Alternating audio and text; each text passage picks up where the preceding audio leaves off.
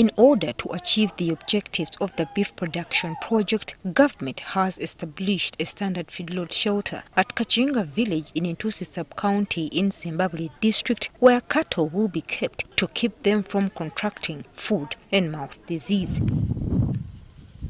The shelter will also assist the cattle to get good pasture, which will in turn improve on the quality of the beef that will be produced for export.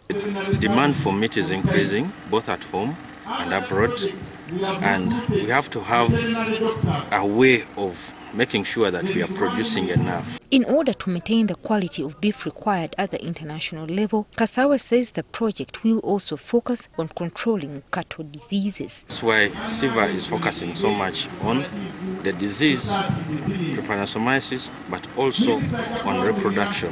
For you to be able to export meat, you must have records to show that your meat meets a certain standard.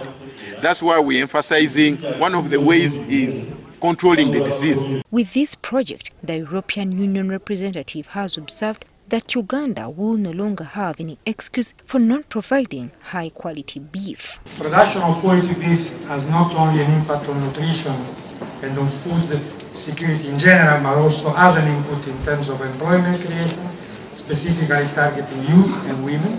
State Minister for Animal Husbandry Joy Kabatsi has assured cattle farmers in the region of a market abroad for their beef products. We have market in Saudi Arabia, so we are the, the market is big and we are targeting to make sure we are able to fulfill those demands.